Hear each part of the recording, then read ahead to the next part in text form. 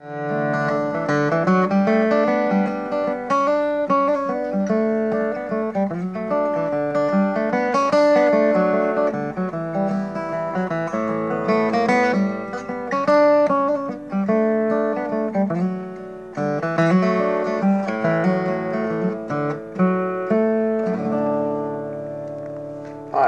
I'm Russ Barenberg. Welcome to my videotape.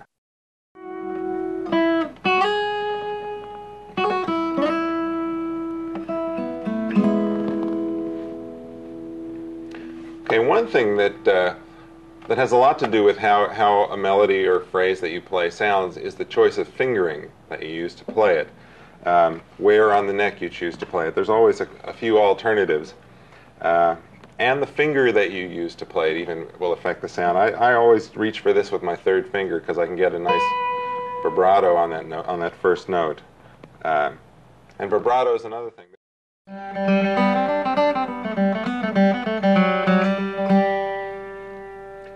Slow that down for you.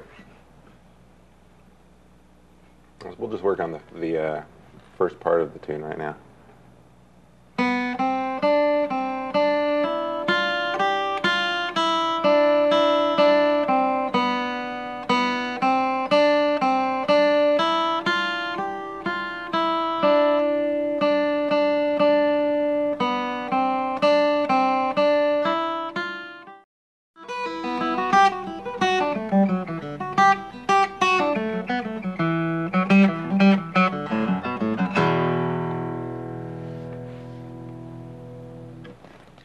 Okay, here it is slowed down.